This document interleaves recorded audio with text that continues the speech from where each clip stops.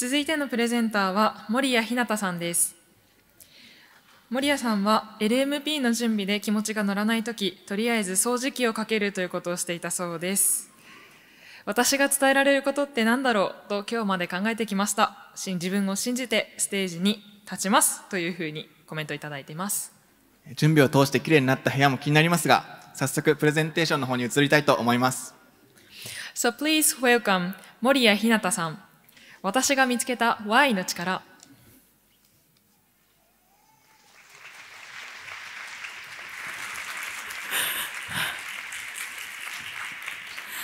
Hola a todos, ¿cómo están?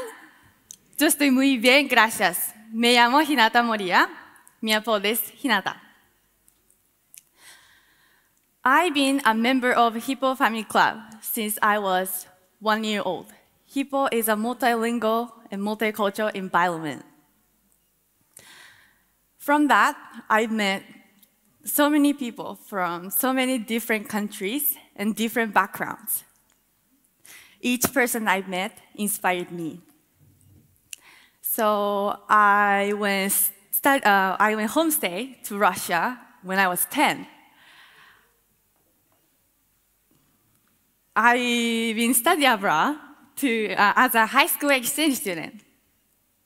I graduated from university in Utah in United States. 私は今までいろんな人との出会いの中で自分の選択肢を広げ、たくさんの経験をしてきました。私は今25歳です。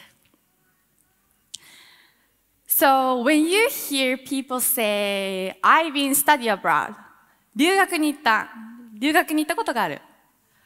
What do you think from that? Because people always say to me, good for you. え、留学なんてすごい。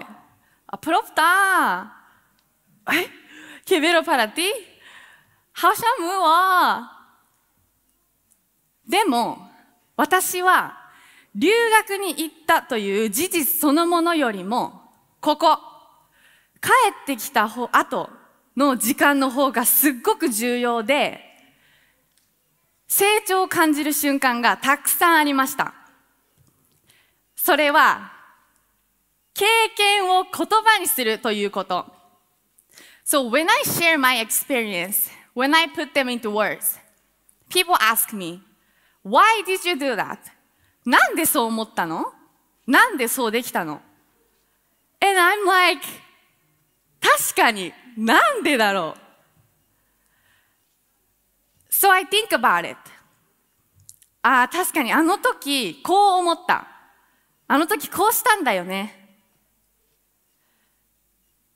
経験したことをもう一度振り返って、その Y の答えをみんなに返す。これを何度も何度も繰り返していく中で、自分の中のにあるもの、自分のことをもっともっと深く知ることができる。それが自分にとっての成長、自信へとつながっていく。The key is to ask yourself why.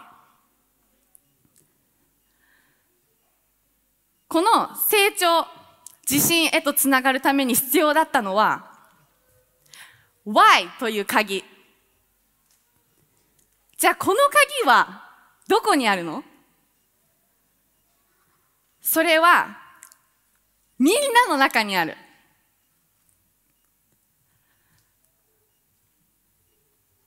あの時どう思ったの ?Why is that? なんでそうしたの？言葉にするって簡単なことじゃない。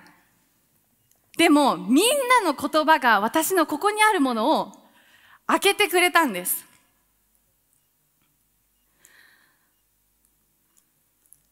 Put into words. 言葉にする。Talk. 話す。この二つは全く違うこと。何度も何度も言葉にしていく中で人に影響を与えることができる言葉に変わっていく。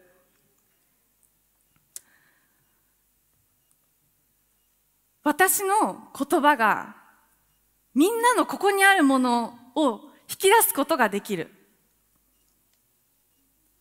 That's why I don't wanna stop here. だから私は言葉にし続けたい。人との間で生きる人間にとって、この力、絶対に必要なものだと思う。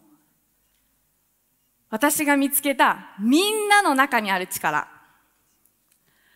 私はこれを伝えるために今日ここに立っています。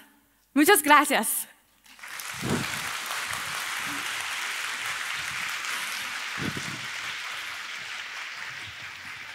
Thank you, Hinata, for fascinating presentation.